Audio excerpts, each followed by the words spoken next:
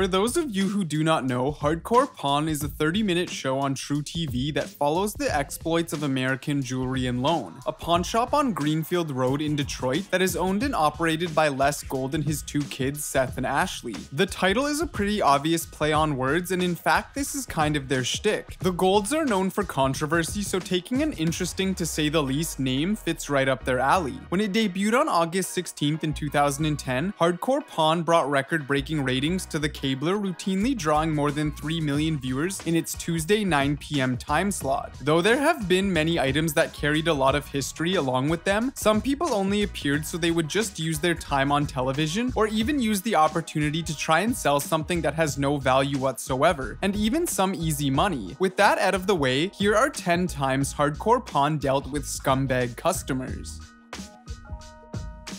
Watch Your Back is the name of the season 7 episode that featured a high-end watch dealer and collector who came to the shop to pick up a watch. Since he was Les Gold's trusted friend, Les agreed on giving him a valuable Breitling watch for $42,000 in exchange for an IOU, since allegedly the man didn't have the cash at the moment. 42.5 tomorrow? I will have the payment for you by tomorrow.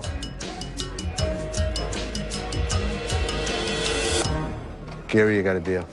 Well, it turned out Les trusted him a little bit more than he should have. Rather than receiving a traditional cash payment, the customer sent Les an insane 130 cases full of watch bands to American Jewelry and Loan. I trusted this mother and this prick with these watch bands. If I had him in front of me, that son of a bitch. The worst part was that hadn't been the only bad deal at the time, and Les was criticized for already making a few wrong deals. So in the episodes that followed, he was seen desperately trying his best to make things right. When nothing else worked, Les started selling watch bands at a discount price of $2 a piece. And luckily, he finally managed to break even with a customer who showed up and purchased all of the watch bands for himself, leaving some autograph versions behind to be sold on the shop's website.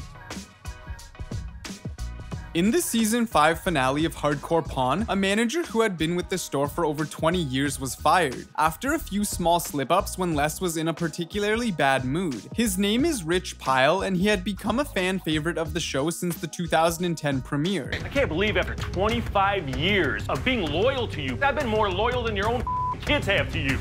You know what, Rich?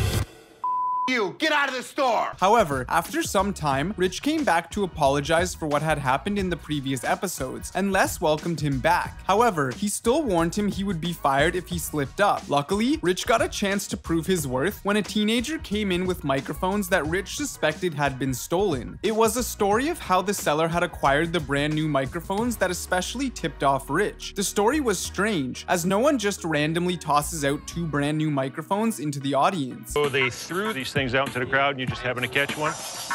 So at what point did they actually take this off of the, the rack and put it nicely inside of this thing? Fortunately, Rich's hunch was correct, as the microphones belonged to a local club owner and they had been stolen from the night before. Rich made sure the stolen microphones were recovered, the crook was arrested, and he got his job back deservingly. At one point, the show documented a sticky situation involving some stolen art being sold to the store for over a million dollars, which could have been by far the most serious scam on the show. Luckily, the real owner of the art managed to call in and clarify what exactly had happened before Les closed the deal. But there's a guy on the phone. He says he's the guy who owns the artwork and he's really pissed. The story goes that Tony and Dina, the people who had tried to sell the art behind the back of the original owner, claimed that Les was a family friend of theirs and could get them a good deal on the art. If you ever watched the show, you know how much Les gets excited about art, so he was about to get it authenticated as one last step before buying. And he also gave them a number as the first step in bargaining for the paintings. They ended up telling the original owner that they were getting it for less and pocketed the rest of the money. When you are a pawnbroker, one thing is for sure, there are not two days that are the same. You could never guess who will visit the store and what kind of story they will carry with them, or whether or not they will attempt to scam you. So when a woman came into the pawn shop trying to return diamond earrings, no one could have expected what she would try to do. She wanted to return the earrings for cash because a diamond was missing from one, but she claimed she didn't have a receipt. Unfortunately for her, there were a few problems. The first one was the fact that you can't return something without a receipt. But even if she had a receipt, she couldn't get cash for it, as the receipts from the store specifically state this. Keep the receipt? No, the gifts come with a receipt. Yeah. Yeah. Um, no, well, this one didn't. But the bigger problem was the diamonds were fake. This woman was trying to scam these pawnbrokers and she got busted. Even after she was caught, she wouldn't admit defeat as she started yelling and trying to cause a scene. Oh, um, excuse me, anybody buying any jewelry from here? Don't get no more jewelry from here because the ain't good. Hey, hey. She didn't want to give up on her cash grab, but there was no way she was going to be permitted to stay. In the season 6 episode called Lawyer Up Son from 2012, a woman came in to redeem her son's pawn of her mother's gold ring. However, she was told that he had no pawns on file at American Jewelry, although she insisted that she needed some information on a $10,000 ring pawned by her son. Though she later produced her pawn ticket, Les found it to be counterfeit. Counterfeit ticket. Man, f this Y'all some bull Y'all some straight up bull Bet you y'all gonna pay me for this $10,000 ring. There are two scenarios for this unsuccessful attempt. For one, it could have been that her son gave her the ticket, as she said, and gave her the fake ticket to try and cover up the fact that he had stolen her ring and sold it elsewhere. However, the woman and her friend could have also been running the scam on their own, trying to pressure Les into paying for her allegedly lost $10,000 ring. Whichever it was, they left, threatening to come back with a lawyer, and they did. Of course, Les readily explained to the lawyer why the ticket was obviously fake. The number on the ticket was too long for one, and the type on the back, which Les explained was information required by state law to be in 12 point font, was in too small type. The numbers don't match up. The paper stack doesn't match up. This is a fake.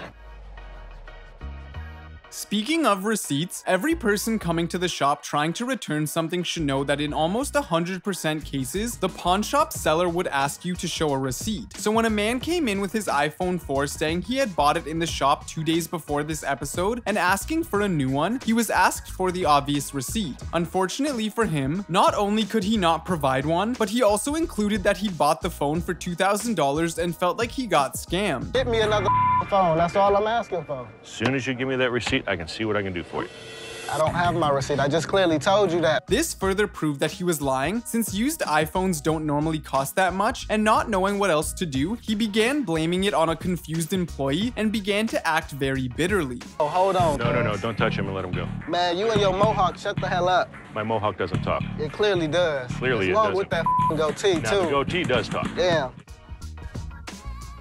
Though it's never a pleasant thing when you have to deal with customers trying to scam you, it's even worse when that happens to be one of your employees. That's why no one could forget the dramatic moment when beloved hardcore pawn security guard Joel Big Joe Shannon was caught stealing on hidden camera. After various items went missing in the store, Les grew some suspicions, so he decided that he was going to catch the culprit red-handed. His plan was to leave a diamond earring as bait with a hidden camera pointed at it. Then, all he had to do was wait, and sure enough, the next day it was gone. No one could believe that their own head of security, Big Joe, took it, even though Les argued that the white guard couldn't have done it. Les later said that Joe had owned up to the crime and pulled out an assortment of jewelry from his pocket, which estimated at over $7,000.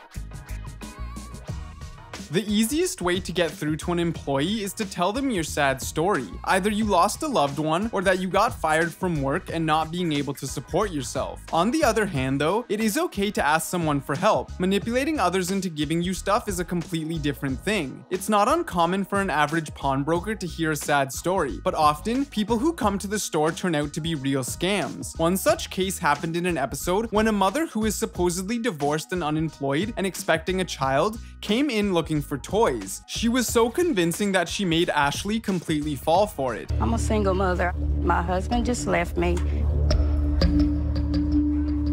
Really? Yes.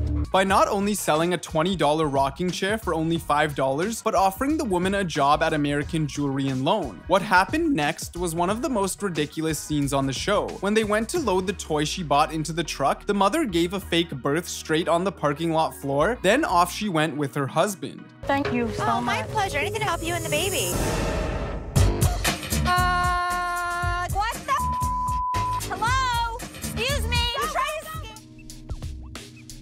It turns out not only do scammers appear on the show, but there have also been some criminals. David Kapuczynski was first remembered after a video of him attempting to intimidate Seth Gold on Hardcore Pawn surfaced a few years ago. I'm gonna allow you to pick up your ring when you have the right amount of money. You're not listening to me. I am hearing you, but you're not listening to me. However, one day, officers responded to a 3.30 a.m. 911 call only to find Kapuczynski attacking his girlfriend when they arrived at the scene. When they warned him, Kapuczynski still refused to comply and was tasered twice. He died as a result. Kapuczynski's girlfriend later said that she and her children loved him and that there were no previous incidents of domestic violence. In fact, she claimed that her boyfriend of six months had been loving and supported her emotionally and financially so that she could go back to college.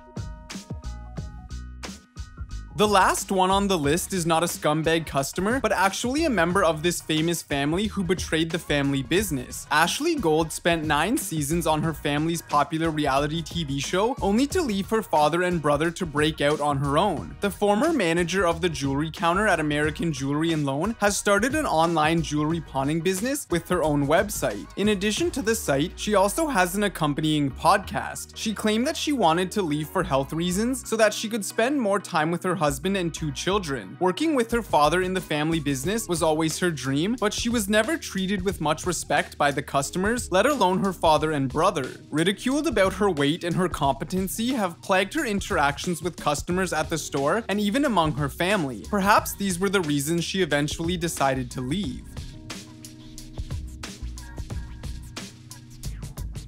Thank you for checking this video out, and don't forget to smash that like button and also subscribe for new videos every day. Turn that bell notification on and comment down below that you subscribed, and we'll make sure to reply and thank as many of you as we possibly can. Once again, thank you for watching and see you next time.